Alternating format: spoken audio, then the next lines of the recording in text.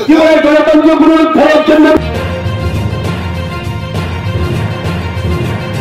2023 विधानसभा चुनाव कुछ ही महीने दूर है। इस बीच राज्य की राजनीतिक पार्टियाँ प्रचार में उतर गई है। मंगलवार को गांधी घाट से माकपा के बर्दवाली केंद्र की पहल पर भाजपा हटाओ के नारे के साथ जुलूस निकाला गया। ये बात माकपा पश्चिम जिला सचिव रतन दास ने आज मीडिया से मुखावित होते हुए कही। আট বর্দোয়ালি বিধানসভা কেন্দ্রে একটা অংশে সিপিআইএমের এবং বামফ্রন্টের একসঙ্গেই উদ্যোগে এটা আমরা করছি। আসন্ন বিধানসভা নির্বাচনকে সামনে রেখে রাজ্যে গণতন্ত্র পুনরুদ্ধারের সংগ্রাম আমরা বলেছি।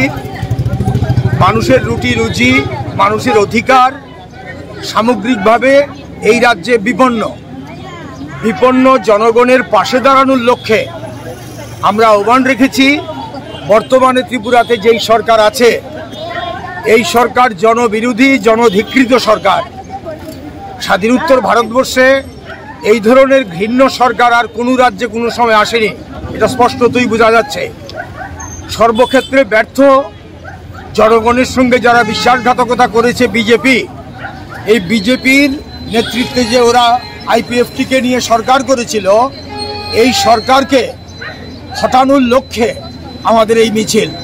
এবং এখানে আমরা আহ্বান রাখছি এই রাজ্যে বাম গণতান্ত্রিক ধর্মনিরপেক্ষ জনগণ এগিয়ে আসুন এবং বিজেপির পরাজয় নিশ্চিত করুন।